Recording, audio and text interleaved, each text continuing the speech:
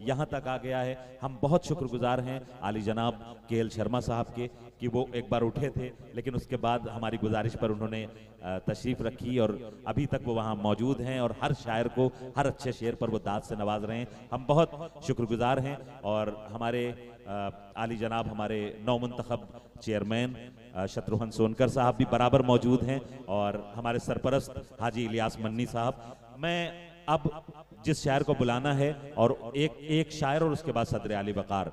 जिन्हें मुझे बुलाना है, मैं सिर्फ़ इतना कहूँगा कि गज़ल की डेफिनेशन के लिए बहुत से शेर कहे गए हैं, जिसमें एक बड़ा कीमती शेर है कि मैं तो गज़ल सुना के अकेला खड़ा रहा।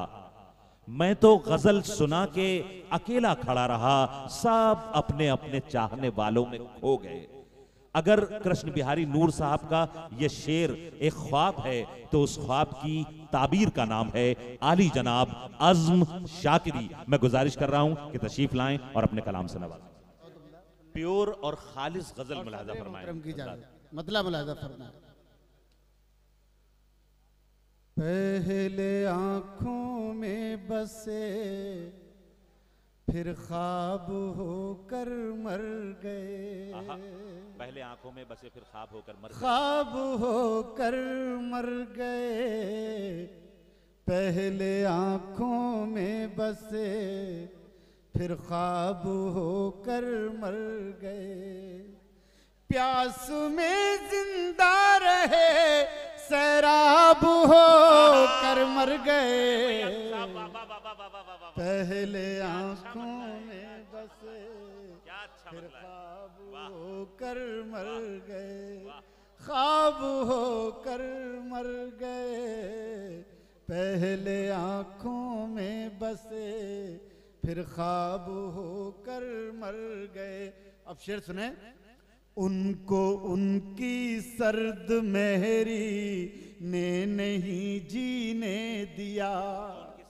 उनको उनकी सर्द मेहरी ने नहीं जीने दिया। और एक हम थे कि जो बेताब हो कर मर गए। पहले आँखों में बसे, फिर ख्वाब हो कर मर गए। अब ये शेर सुने, शायद याद रह जाए आप हजरात को। पहले आँखों में बसे फिर ख्वाब होकर मर गए। खुद को सस्ता बेच कर वो उम्र भर ज़िंदा रहा। उम्र भर ज़िंदा रहा। खुद को सस्ता बेच कर वो उम्र भर ज़िंदा रहा। हम शरीफ नफ्स थे नायाब हो कर मर गए। पहले आँखों में ख्वाब होकर मर गए, ख्वाब होकर मर गए। दोस्तों बहुत बहुत शुक्रिया। मुझे तो ऐसा लग रहा था कि मैं गज़ल पढ़ भी पाऊँगा या नहीं। आपकी बहुत मोहब्बत है। पहले शेर सुने। पहले आँखों में बसे, फिर ख्वाब होकर मर गए। तीरा बख्तों को चलो, तीरा शबी ने डस लिया। तीरा शबी ने डस लिया। तीरा बख्तों को चलो। तीरा शबी ने डस लिया। उनको क्या कहिए कि जो महताब हो, कर मर गए। पहले आँखों में बसे, फिर ख्वाब होकर मर गए। ख्वाब होकर मर गए। पहले आँखों दोस्तों एक मतला दो शेर और सुनाना चाहता हूँ आपको। वो सुने बतौर खास। मैं गज़ल पर आऊँगा बाद में थोड़ा सा दो दो तीन तीन शेर। मैं पहली बार आया हूँ जो मेरा इंतखाब है आप हजरात तक पहुँचा दूँ। सुन ले बतौर खास। हाँ यार उससे मिलने की जुस्तजू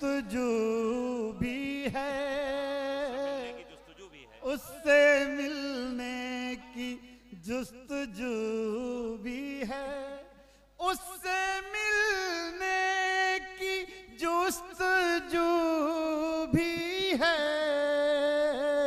और वो मेरे रूबरू भी है और वो रूबरू भी है।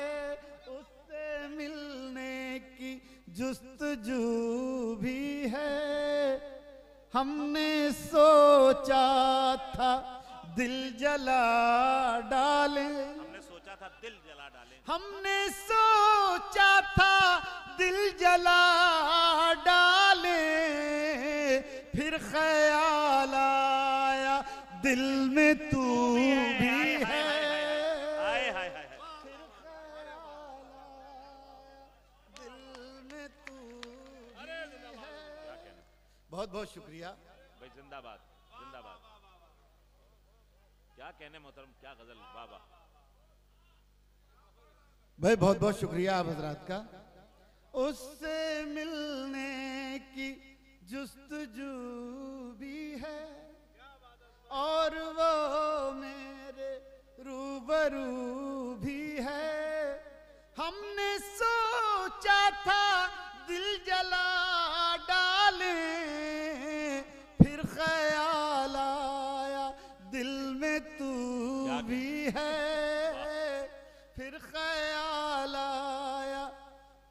शेर सुने। हौसला भी नहीं है जीने का। हौसला भी नहीं है जीने का। हौसला भी नहीं है जीने का। और जीने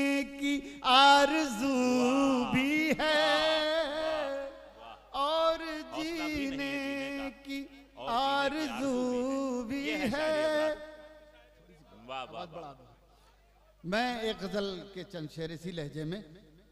बहुत तो बहुत शुक्रिया। मैं तमाम शोरा हजरात और अरे वही सुनाना चाहता हूँ। सुन लो मेरी जान। तुम तो बहुत खराब शेरों पर भी दाद दे रहे थे लेकिन यार इतना अच्छा शेर भी तुम्हें याद रह गया हुआ अब ना रोएँगे हम खुशी के लिए।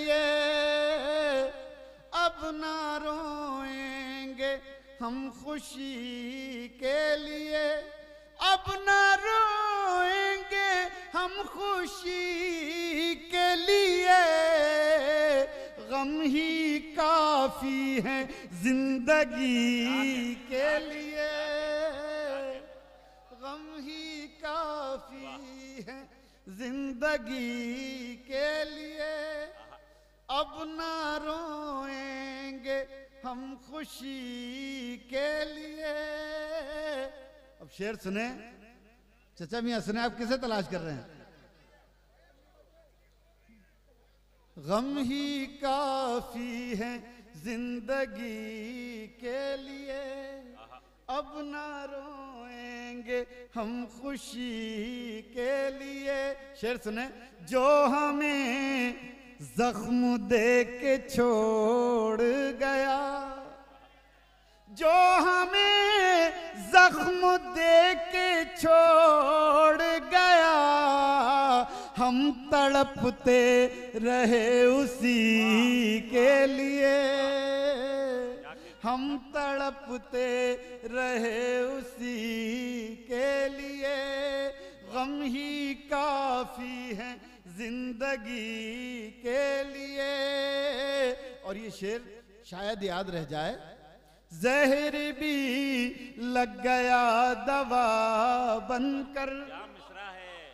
जहर भी लग गया। जहर भी लग गया दवा बनकर। हमने खाया था खुदकुशी के लिए। हमने खाया खुदकुशी के लिए हमने खाया था। खुदकुशी के लिए जहर भी। बहुत शुक्रिया क्या कहने क्या कहने? जहर भी लग गया दवा बनकर हमने खाया था। खुदकुशी के लिए